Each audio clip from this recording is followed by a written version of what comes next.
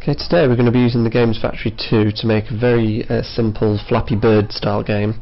So I'm going to go File New, and this is our storyboard editor. Uh, this is where all our levels for the game go. So for now, I'll leave this as it is. I'm just going to double click on it to edit it. And you can see we've got a very boring white background. So the first thing I want to do is make a sky, a quick background. So go Insert, New Object, and if you don't see all these things just make sure you click on all objects. And we're actually looking for quick backdrop.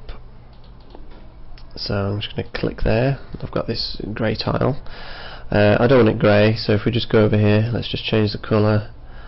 I don't know I think it's that kind of colour in Flappy Bird. And I'm just going to drag this up here. And if you hover your mouse over the edge you should be able to just expand this area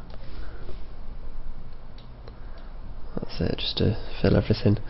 You might find it easier when you're uh, designing your levels just to zoom out a little bit, so let's move that to 50%. Okay, so that that is our level, but not very exciting at the moment. We need, uh, first of all, I think we need a player character. Now, if you're not very good at drawing, it's, it's dead easy to do a simple bird. I'll show you in a second. Um, to create our character, or our sprite, we're going to go Insert, New Object, and in the Games Factory, um, objects like player characters and enemies, they have to be active objects. So we just double click here, and I'm going to just click where I want my bird to be. You can see we've just got this very simple stand-in thing. I'm just going to zoom in a bit. Uh, that's probably about the right size for what we want to be honest, but we can resize it if you want. You can just click on it, make it a little bit bigger. And now I want to double click on it. So obviously we don't want this um, diamond shape, so I'm going to click New, and I also want to zoom in a little bit. Um, now I don't want anyone saying, "Oh, I can't draw, I can't draw a bird." It's simple. Just draw a V.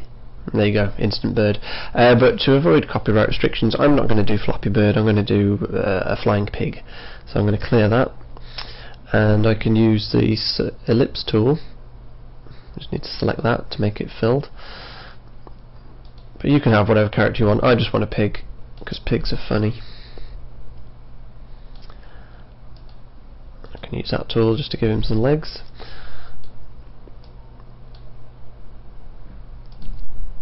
I mean you can make yours as nice looking as you want.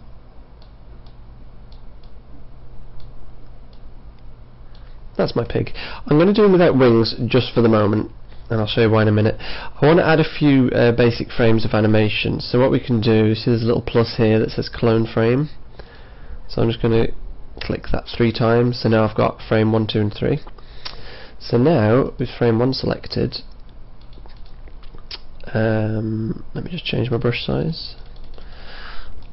I can draw his wings. Oops, that's the wrong colour. So I'll draw one frame with his wing up, one frame with his wing sideways and one frame with his wing down. You can also use these keys to go back and forwards to check out your animation. Um, finally we just need to go direction options and we need to set a loop so it plays those three frames forever. Um, let me just play it, see what it looks like. That's actually not too bad. If it was going too fast or too slow you have got a speed setting there but that will probably do for what we want to do at the moment.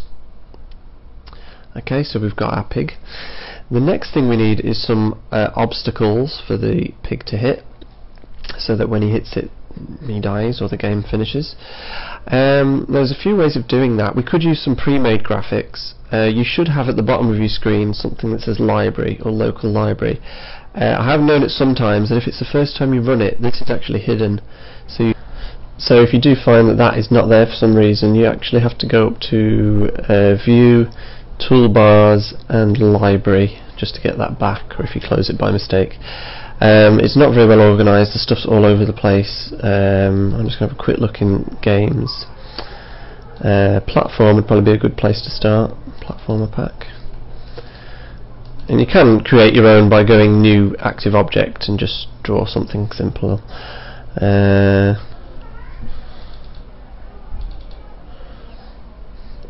So I'm in the walls and tiles bit. Um, we can. That looks quite similar to what they use in Flappy Bird, I think.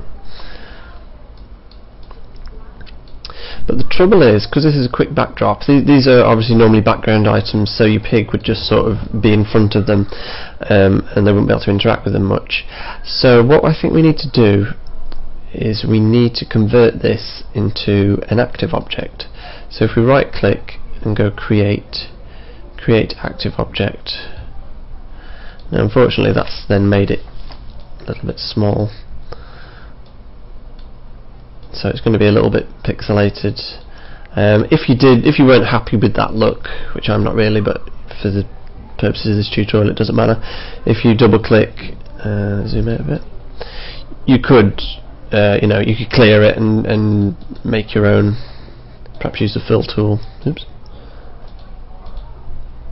you know, put a pattern in it. But if you're not very good at drawing, you might just want to use the pre-existing stuff. I think I'll, I'll make this nice stripy pattern.